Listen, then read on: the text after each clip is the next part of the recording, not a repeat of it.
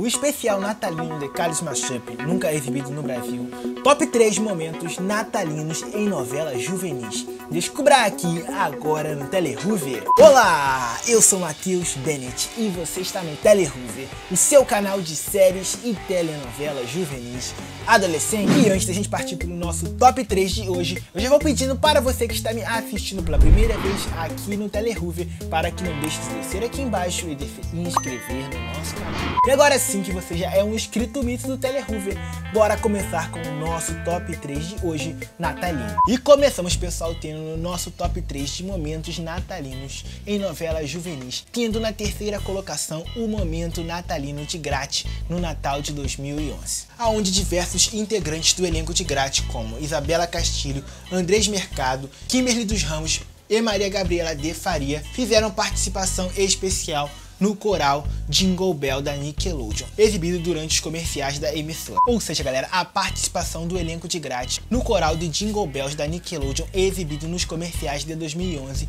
abre aqui o nosso top 3 de momentos natalinos em novelas juvenis. E em segundo lugar, galera, desse top 3 de hoje, temos um momento natalino envolvendo o elenco de Clube 57. Momento natalino no Natal de 2018 onde antes mesmo do lançamento oficial de Clube 57, no Natal de 2018, a Nickelodeon publicou uma sessão de diversas fotos promocionais natalinas do elenco de Clube 57, como vemos aí desejando um Feliz Natal a todos os seus telespectadores. E é nessas horas, produção, que a gente se pergunta por que isso não virou de fato um especial natalino de Clube 57. Dava sim muito bem para Nickelodeon ter feito um especial natalino de Clube 57. E para fechar, galera, em alto estilo esse nosso top 3 de momentos natalinos dentro de novelas juvenis, temos selecionado aqui, vigorando na primeiríssima colocação, o maior dos momentos citados aqui, que foi um especial completo natalino que a Nickelodeon produziu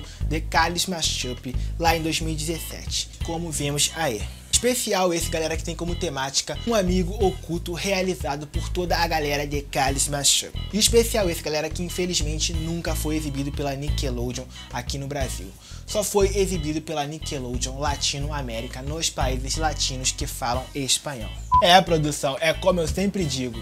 Nickelodeon, Nickelodeon, Nickelodeon, não tem jeito mesmo. E bom, galera, estamos chegando ao final de mais um vídeo aqui no Teleruv. E se você gostou, não esqueça de deixar o seu like.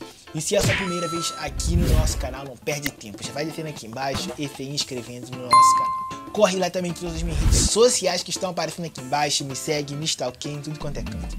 Fiquem todos com Deus. Abração e fui! E ainda pergunta que não quer calar, galera. Por que a Nickelodeon não faz especiais natalinos de suas séries latinas, assim como faz de suas séries americanas como iCarly, Drake Josh e Brilhante Vitória? Fica aqui a nossa crítica construtiva a essa questão toda.